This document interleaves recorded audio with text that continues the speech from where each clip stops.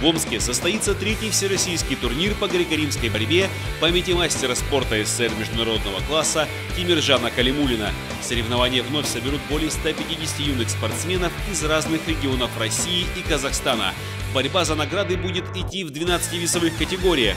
Ждем вас 20 сентября в Омском велотреке. Начало поединков с 10 часов. Торжественное открытие в 17.00.